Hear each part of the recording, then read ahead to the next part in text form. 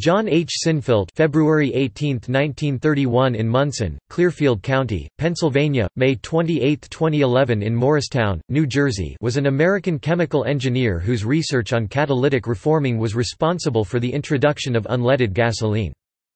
Sinfelt worked for the Standard Oil Development Company now Exxon Mobil Research and Engineering, where he specialized in developing techniques to speed up chemical reactions.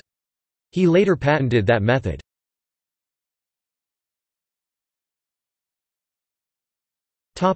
Honours and awards. 1975 National Academy of Engineering.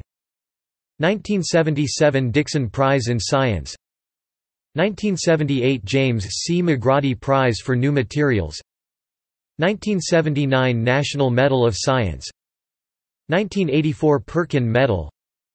1984 American Institute of Chemists Gold Medal 1986 E.V. Murphree Award in Industrial and Engineering Chemistry 1988 Chemical Pioneer Award